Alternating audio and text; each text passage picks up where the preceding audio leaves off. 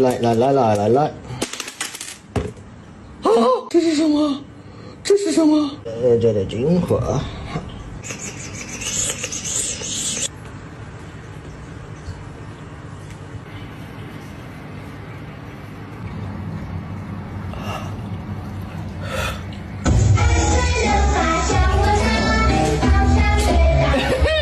托马斯是一列小火车头，他住在多多岛的一个大火车站里面。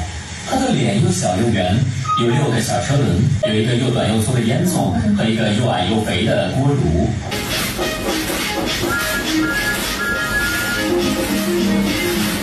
他是个很谨慎的火车头，负责把准备好的车厢推给大火车头，让他们去不同的地方。你玩的挺花花啊！你别生气啊！呜你要实在不满意的话，我就答应你个条件。